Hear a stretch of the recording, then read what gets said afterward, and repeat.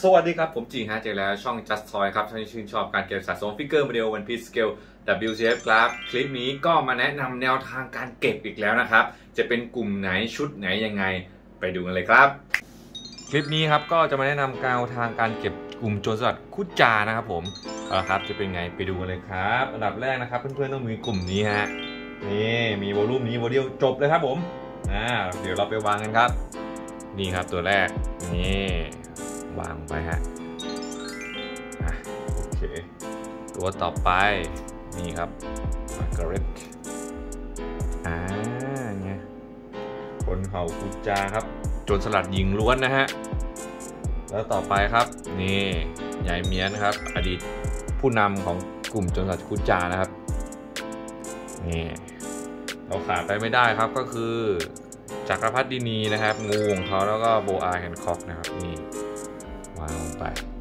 วางลงไปหันหน้าไปทางนี้ อันนะยังไม่หมดครับ ยังมีอีกคนนึงครับ นี่สามพี่น้องงู วางลงไปครับอ่าเห็นไหมกำลังมองมาที่หุ่นหน้าอ่าอันนี้ขยับนิดนึงอ่าแล้วก็เรือของกลุ่มโจรสลัดโคจาจะเป็นเรือตัวนี้ครับ นี่เอาวางลงไป อะ ขยับเข้ามาหน่อยให้มันเห็นในเฟรม เป็นไงครับ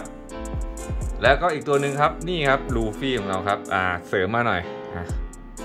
แล้วก็วางลงไปอ่าก็จะเป็นสตอรี่ที่แบบเอ้ยมาส่งลูฟี่นะครับผมเพื่อจะไปหาพี่ชายนะครับอ่าเพื่อไปหาเพื่อนเออพูดผิดนะครับนี่ครับเป็นไงครับสวยมากๆเลยครับ